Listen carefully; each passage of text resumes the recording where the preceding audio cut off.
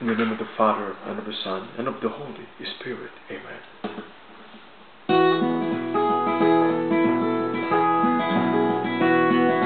Glory to God in the highest, through Jesus and Mary, Saint Joseph of Arimathea, please pray for us sinners. Glory to God in the highest, and blessed be God in His saints. Saint Joseph of Arimathea, thank you for the tomb of Jesus.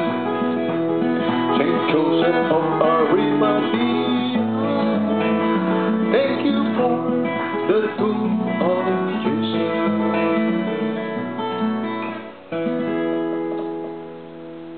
In the name of the Father, and of the Son, and of the Holy Spirit. Amen.